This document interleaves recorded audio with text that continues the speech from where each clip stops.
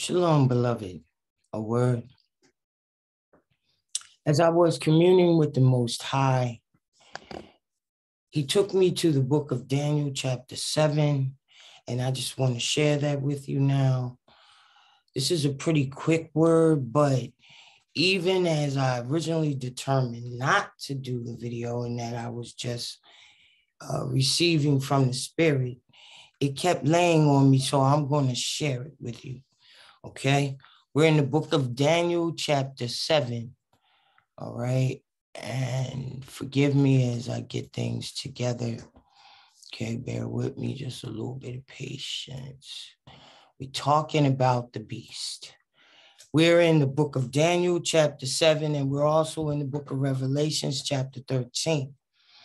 One of the things that you have to understand is everything that is has already been. There is nothing new under the sun. Everything that you do has already been done. And when we look at these four beasts in the book of Daniel, we recognize that they are all, all these systems were put in place be as a punishment for Yasharel. They were used to punish Yasharel for us turning to the other nations, following after them and their ways. Okay, before we begin, Yah of my ancestors, Yah of Abraham, Isaac, and Jacob, I ask that you come in now and bless Yasharel and all those listening. Open up thy words of life unto them as we give you praise, honor, and glory this day and forevermore for your words.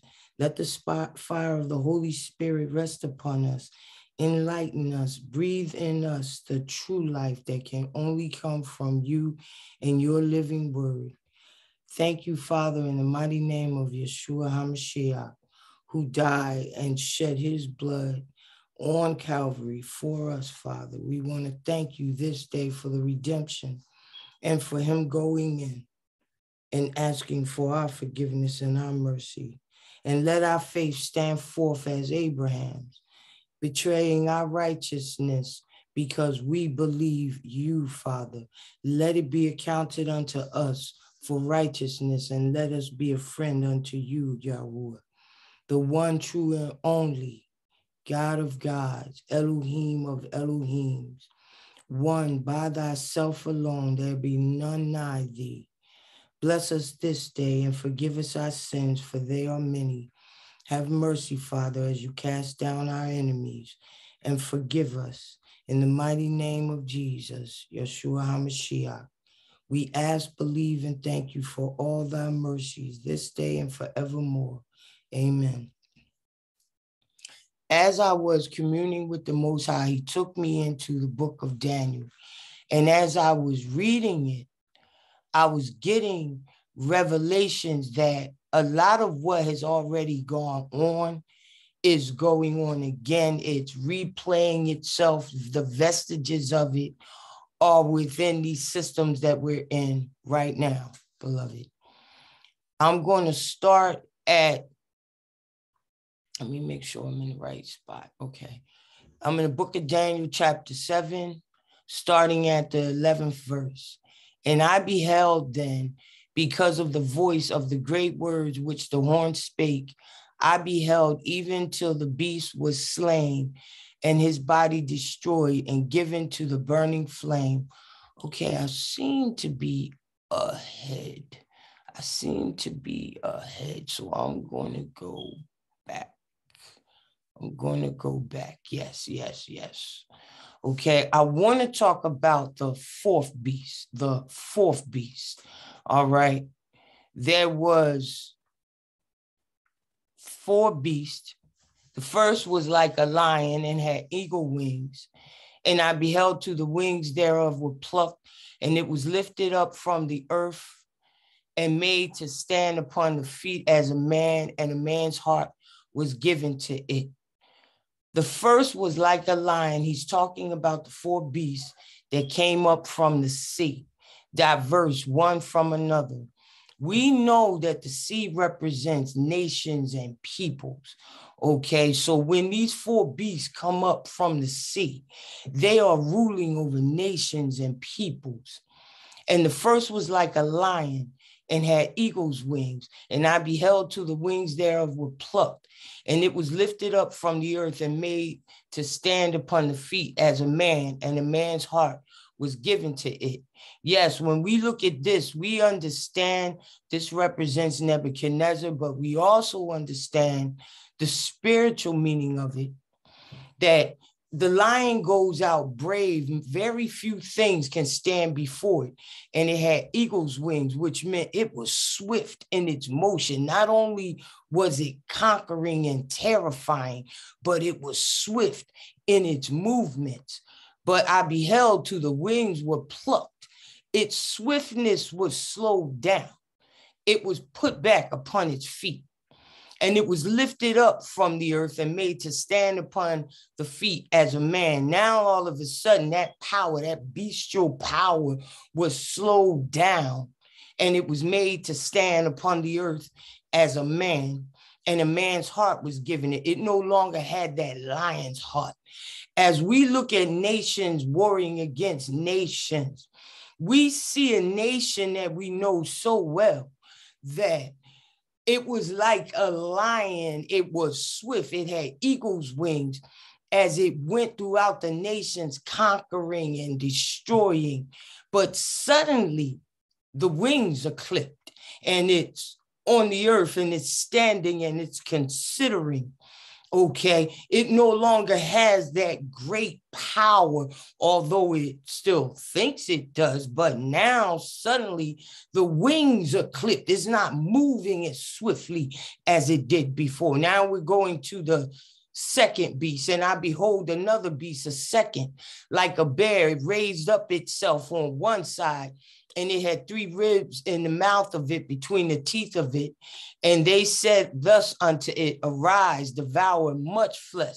Yes, this bear, many people speak about the fact that the bear represents uh, Persia and Medes, but many other people uh, speak about the fact that the bear can also represent Russia because many nations have symbols, mascot symbols, spiritual symbols of animals and beasts.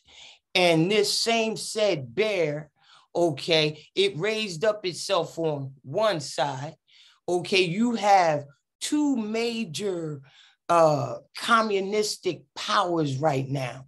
You have Russia and you have China. But right now, the bear is raising itself up in its strength on one side, although the communistic powers are two, but you only see one raising up right now. Okay, wait a minute. And it had three ribs in the mouth of it between the teeth of it when you look at the certain places that were taken from it that the bear is taking back, we can liken it to the days of Persia Medes or Medes Persia, but you can also bring it up to current, what you're seeing playing out. And they said unto it, Arise, devour much flesh. And we see it doing, taking life right now. Okay, I'm going to, and after this I beheld, and lo, another like a leopard, which had upon the back of it four wings of a fowl. The beast also had four heads, and dominion was given to it. This one, many liken unto Alexander. Okay, he was swift and powerful in his conquering. And those four wings of a fowl, the beast also had four heads. That's those four generals that took over when Alexander the Great died young, and dominion was given to it. I'm going to keep going because I'm going to give it to you just as it came to me. Um, wait a minute. And thus I beheld after this, I saw in the night visions, and behold, a fourth beast, dreadful and terrible and strong exceedingly, and it had great iron teeth. It devoured and brake in pieces and stamped the residue with the feet of it. And it was diverse from all the beasts that were before it, and it had 10 horns. Okay. we know this is representative of um wait a minute let me get it let me get Rome okay but we also know that present day we are living in the modernized Roman society. Many of the vestiges of it, many of its habits, many of its actions are based on Rome, or many of those paganistic behaviors that it had. Okay. But it is diverse. What do I mean? It's not exactly like the old one. This is that mystery Babylon that they talk about. And I beheld a fourth beast, dreadful and terrible and strong exceedingly.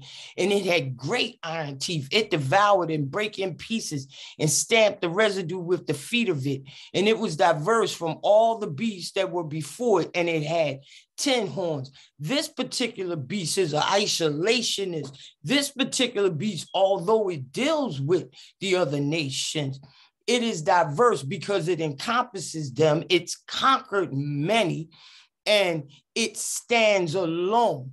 Wait a minute. I considered the horns, and behold, there came up among them another little horn before. Wait a minute. Yes, yes, yes. Let me go back. And after this, I saw in the night visions, and behold, a fourth beast, dreadful and terrible, and strong exceedingly, and it had great iron teeth, like that Roman Empire devouring, it devoured and break in pieces and stamped the residue with the feet of it. And it was diverse from all the beasts that were before it, and it had 10 horns. You can look at it like the 10 powers of NATO, if you will. It had 10 horns. These horns representing power or, or kingdom or uh, uh, a king, 10 horns. Okay. I considered the horns, and behold, there came up among them another little horn, before whom there were three of the first horns plucked up by the roots. When you think of the so called America, you look at it and it was Spain, France, and Britain that had actually settled it. It was three Spain, France, and Britain that had came in. But in the end, in the end, this little horn, wait a minute, before whom there were, I considered the horns, and behold, there came up among them another little horn, before whom there were three of the first horns plucked up by the roots. And behold, in this horn were eyes like the eyes of a man, and a mouth speaking great things. Eyes. When we talk about the eyes, the eyes in and of itself, they're silent. When we look at the Hebrew word ayin, and I might not be pronouncing it right. So those who just got more, bear with me. Okay, ayin, it can either represent the good eye or the evil eye. Okay. It sees but does not speak the eye. Okay. Therefore, it represents humility. On the other hand, it can represent idolatry as well as slavery born out of the heart of envy. Okay. We're talking about that eye, the eye on that horn. Okay. In this horn were eyes like the eyes of a man and a mouth speaking great things. Okay. Let me finish. When the eye is evil, it becomes a slave to the purposes of sin and an evil impulse. That's why it says, if your eye is dark, the whole body is dark. Okay, but if it's light, the whole body is light because the eye has a outer realm and an inner realm. And what do I mean? If your heart is good, when a person looks in your eyes, they see the goodness in your spirit. But if your eye is evil because your heart is evil, when you look out, or sorry, when that person, that evil looks out, Okay, that idolatry, that greed, that envy, that lust, that murder is there, and that darkness and the spirit is there. And therefore, when you look in someone's eyes, you see what's coming out of them. All right, let me finish. When the eye is evil, it becomes a slave to the purposes of sin and the evil impulse. The heart and the eyes are spies of the body. They lead a person to transgress. Okay, the evil eye looks towards the mouth and how it might consume for itself in greed and envy. Okay, now the mouth is it's um I could be saying these words wrong. Pay open to blow to scatter. It's an opening. It's a doorway. It's an entrance. Okay. Most of the time, when you're dealing with just the eye, you're dealing with silence. But you remember, this particular eye is also in this horn were eyes like the eyes of a man and a mouth speaking great things. Why did it have the eyes of a man? Because it was envying, it was coveting, it was rapine in its desires and its conquest. I beheld to the thrones were cast down, and the Ancient of Days did sit, whose garment was white, as white as snow, and the hair of his head like the pure wool. His throne was like the fiery flame, and the wheels as burning fire. A fiery stream issued and came forth from before him. Thousand thousands ministered unto him, and 10,000 times 10,000 stood before him. The judgment was set, and the books were opened. I beheld them because of the voice of the great words which the horn spake. Okay, boastfulness. This is where that horn, the horn normally represents a nation or a kingdom. That horn is representative of a conquering nation. This horn also has eyes, eyes like that of a man that it can see. All right. And I beheld them because of the voice of the great words which the horn, this nation spake. I beheld even till the beast was slain and the body destroyed and given to the burning flame. When he's talking, these horn, this horn with these eyes and this great mouth speaking great things, it's on that fourth beast.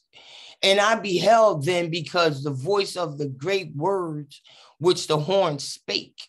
This horn representing a nation, a kingdom, a group of people, if you will. And I beheld even to the beast was slain and his body destroyed and given to the burning flame. There is a time coming, beloved, the judgment.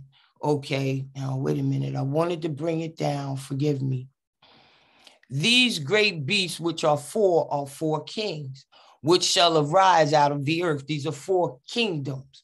Okay, I'm moving down. And the 10 horns that were in his head, wait a minute, because I know I'm moving around. I'm talking about that fourth beast.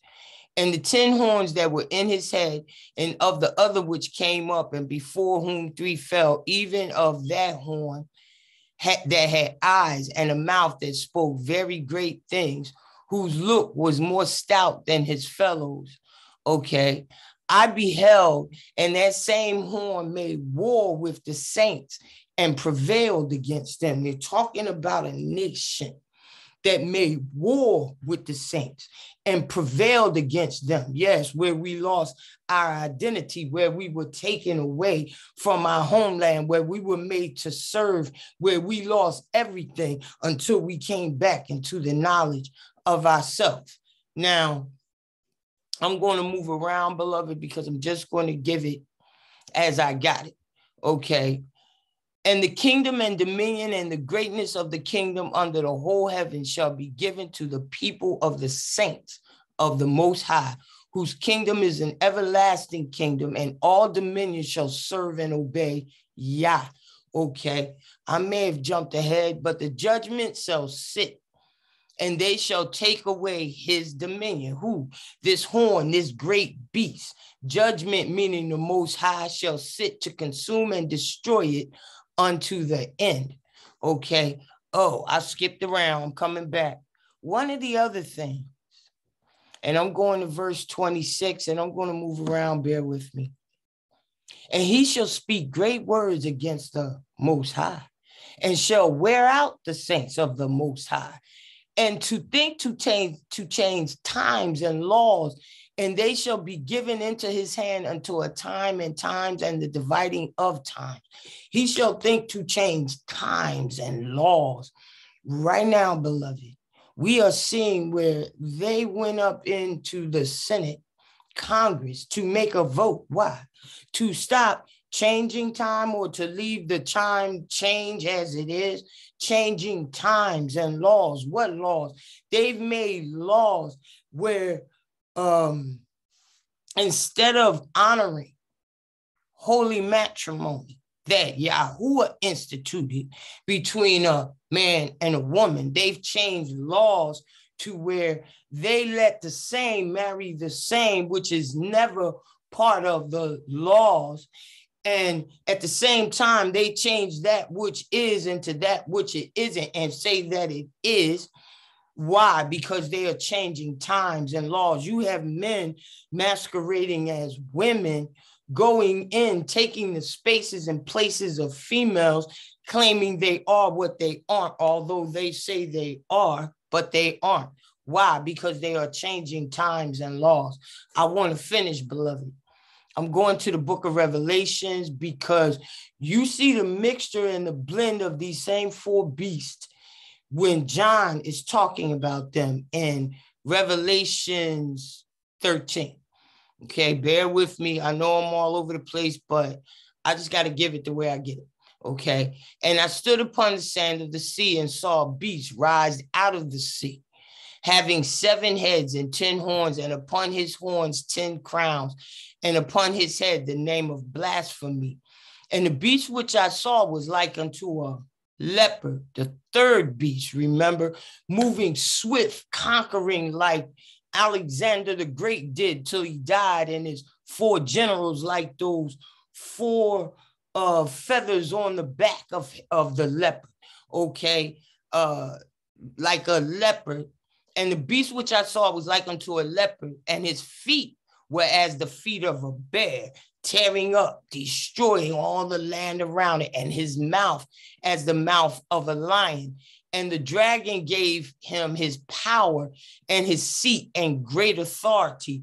You are looking at the culmination of the three beasts in the fourth beast, but it's written about differently in the book of Revelations. This same beast which we are under now, which is coming under judgment. This same one who speaks with this little horn that became a great horn full of eyes of a man and it spoke blasphemous and boastful things against the most high because it has become full of itself believing itself its own power to change laws. What laws? No not the laws of man because laws of man are fallible. They can change with the ebb and flow of his mind and heart. We are talking about the laws of Yahuwah himself, even the law of nature, they have thought to change times and laws. This is that horn that we're speaking about, that nation that speaks great things with these eyes that look and covet and sin, and it's in their heart. They're full of envy. Remember what Yeshua said it is the eye. If it's full of light, the whole body is light. But if the eye is dark and the entire body is in darkness, well, it's telling you this particular horn, this nation is looking through a dark eye.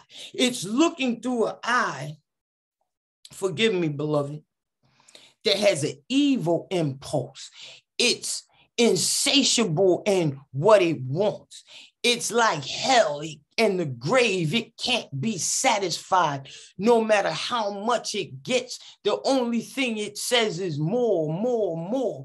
No matter how much it has, it's on to its next conquering, not because it doesn't have enough, but because it's no longer about what it has. It's about the joy of conquering and defeating. Let me move on. And the beast which I saw was like unto a leopard and his feet were as the feet of a bear, and his mouth as the mouth of a lion. And the dragon gave him his power and his seat and great authority. Now I'm going to go down, beloved, to verse five. And there was given unto him a mouth speaking great things and blasphemies, just like that little horn that came up and plucked up those three horns before it, where it had eyes. And what is the eye? The eye sees but does not speak. Therefore, in some cases, it represents an attitude of humility. But on the other hand, it can represent idolatry. One of the ways that many people idol worship is because they see something. Either it's an object, it's a person, it's an idea, um, idolatry, beloved. Okay, as well as slavery, because it's born out of the heart of envy. They're enslaved by their lust, by their greed, by their covetousness. It actually makes the enslaver the slave because of what it causes him to do. What is that? The eye. But this particular horn is so deep, it's given a mouth. Okay, wait a minute. And there was given unto him a mouth speaking great things, and blasphemy and power was given unto him to continue 40 and two months. And he opened his mouth in blasphemy against Yahuwah to blaspheme his name, his tabernacle, and them that dwell in heaven.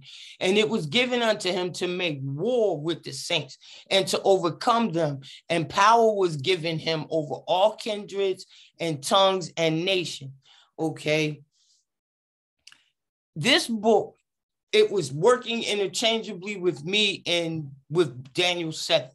Okay. There is a time because of our sins, we're given unto these nations, but we are now seeing the judgment come in. This is where I'm going back to Daniel 7. Forgive me. And if we look right here, verse 25, and he shall speak great words against the Most High and shall wear out the saints of the Most High and think to change times and laws. And they shall be given into his hand for a time and times and dividing of time. But the judgment shall sit, the judgment being Yahuwah, his word, and they shall take away his dominion to consume and to destroy it unto the end. And the kingdom and dominion and the greatness of the kingdom under the whole heaven shall be given unto the people of the saints of the Most High. Whose kingdom is an everlasting kingdom, and all dominion shall serve and obey him. Okay. This is what came to me, beloved, that many times when one thing is being and it's in its full representation, it is also mirroring another. At the same time, when we're reading in the book of Daniel and recognizing those four beasts fit the time that Daniel was in, we also recognize the spirit in those four beasts, also recognize represent the days we are in, beloved. That fourth beast encompasses the spirit of all three before him, as well as his own diversity because of its makeup. And he's talking about it. We see it in the book of John or in John in the book of Revelations because he's giving that same description I hope that this word came through to you, beloved. I hope that you are blessed by it because I'm giving it as I got it. And we are in those times. We are seeing that great horn that spoke such big, boastful things against Yahuwah that thought to change times and laws, and we are living through it, watching it occur. Those laws that go against the laws that Yahuwah set in place, those natural laws, as well as those holy laws. We are watching it and we are told to go along with it to they teach it to children in schools today if you're a he it's okay if you're a she if you're not a they or them or it it doesn't matter and they are doing this societally to change laws because they have that seared conscience beloved but the last thing that I want to say. All right. I want to start at 25. Okay. And he shall speak great words against the Most High, and shall wear out the saints of the Most High, and shall think to change times and laws, even laws of right and wrong, laws that we know the truth about, forgiving himself when every opportunity presents of murder, of robbery, of witchcraft, of idolatry, while holding others to the letter of this same said law and excusing himself for greater crimes. But let's go on. He shall speak great words against the Most High and shall wear out the saints of the Most High and think to change times and laws, even the scripture. They look to manipulate the book. They think to change times and laws and they shall be given into his hand until a time and times and the dividing of times. But the judgment shall sit. The judgment is sitting, beloved. And they shall take away his dominion to consume and destroy it unto the end. And the kingdom and dominion and the greatness of the kingdom under the whole heaven shall be given to the people of the saints of the Most High, whose kingdom is an everlasting kingdom, and all dominion shall serve and obey Yah. Okay, beloved, they shall serve and obey Yah. I hope this came through. I will go back over it if I can, but right now I wanted to get this out. Beloved, it is a word. Shalom.